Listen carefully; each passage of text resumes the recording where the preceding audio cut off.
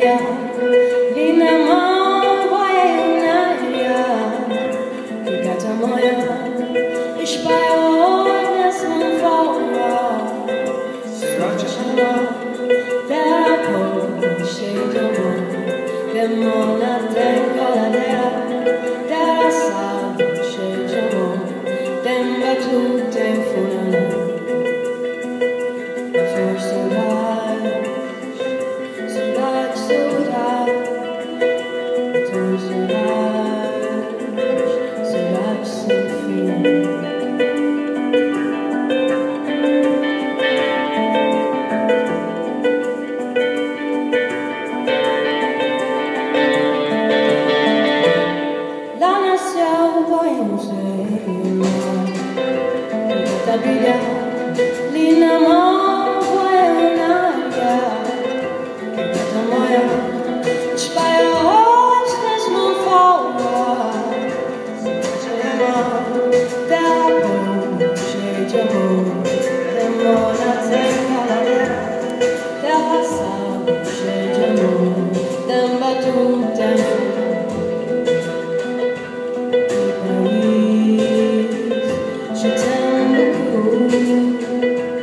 to be